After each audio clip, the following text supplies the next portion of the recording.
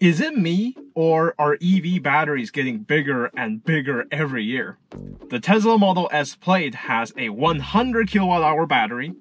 The Rivian R1T is going to have a 135 kilowatt hour battery. And if you think that's too big, there's going to be a new Nio vehicle, which is going to come with a 150 kilowatt battery. Whoo! Those are some really big batteries and they are getting bigger and bigger every year.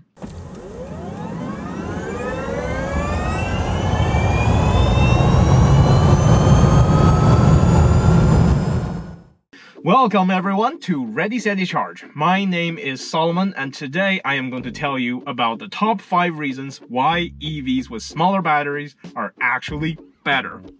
This will be a quick video, a short video. If you want more nuance, make sure you subscribe to our channel and look out for our next video, which is a longer and more detailed discussion. Now, let's go!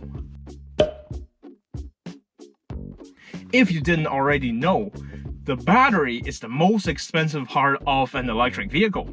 And the bigger the battery, the more expensive it is. And yes, I do realize the batteries are getting cheaper and cheaper over time, and the dollar per kilowatt hour ratio is going down, and is going to be cheaper and cheaper every year. But this will never overcome the fact that a smaller battery will always be cheaper than the bigger battery. Imagine this, if you have a $100,000 vehicle with a 100 kilowatt hour battery, it is a vehicle that's not affordable for most people. But if you divide up the battery into thirds, let's say a 33 kilowatt hour battery each, then you get to produce three vehicles at a third of the price. Now, if the vehicles are, let's say, $33,000, they're a lot more affordable. Therefore, EVs with smaller batteries can accelerate adoption of EVs by making them just cheaper. In the same vein as our first point, the second point is a smaller battery will take way less energy and way less resources to produce. Ever since EVs came on the market, lots of questions has been raised which had not been raised before. Know, where does the raw material comes from? How much energy does it take to manufacture a battery? And how big is the carbon footprint to produce an EV? I think it's wonderful that these questions are being asked right now, and consumers are choosing products based on the answers to these questions. Now, not only would a smaller battery cost less, it would have a smaller environmental impact.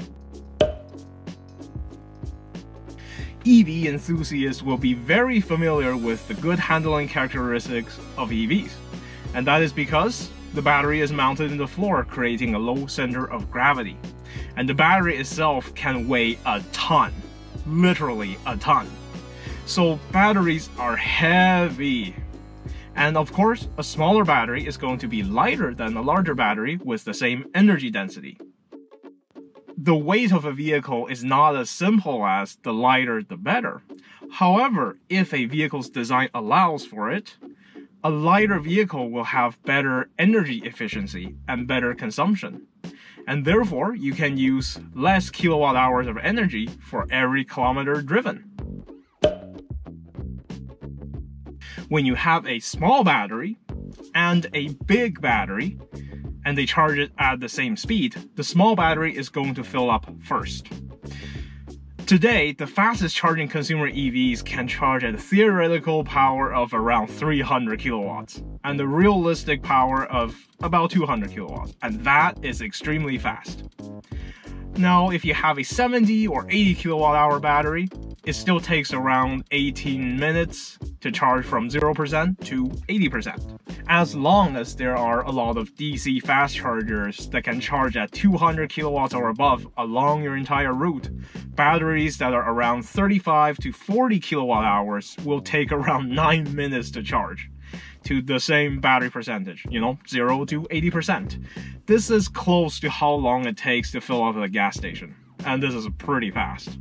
Because you can only plug in for such a short time during any charging session, no one needs to stay at a charging station for a long time.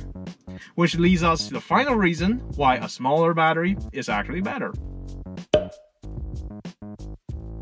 In my one and a half years of driving an EV, I personally have not experienced any situations where multiple electric vehicles line up to charge at a charging station. But clearly, this is a problem that other people have faced.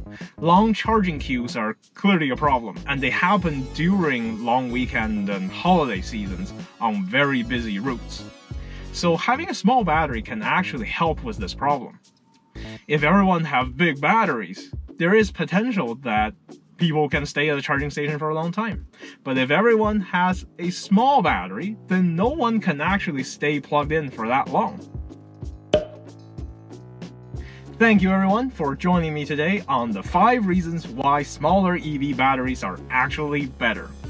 There are many things that I have not covered around battery size, their implications, advantages, disadvantages. Today's video is a very quick video, and if you want to hear more information, make sure you're subscribed and watch out for our next video where we will have a longer discussion with more details. My name is Solomon, thank you for watching, and we'll see you on the next one.